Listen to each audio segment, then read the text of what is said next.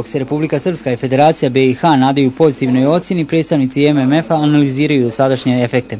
Do kraja mjeseca trebalo bi da podvuku crtu i saopšte rezultate. Republika Srpska nije kočnica za odobravanje četvrte tranše iz MMF-a, poručuje premijer Milorad Dodik. Republika Srpska zadržala institucionalnu i funkcionalnu stabilnost i obezbijedila likvidnost svih obaveza koje ima.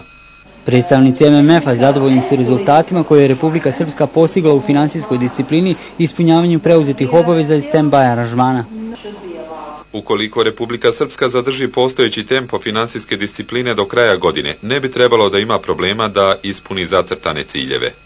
Vlasti federacije, osim zakona o platama i naknadama u organima vlasti koji su usvojili prije mjesec dana, treba da ispune još tri uslova. U svoje strategiju o reformi penzijskog sistema provedu reviziju u oblasti boračko-invalidske zaštite i takozvanih beneficiranih penzija. Federalni premijer Mustafa Mujezinović tvrdi da je federacija ispunila najveći dio obaveza, ali problemi su u kantonima.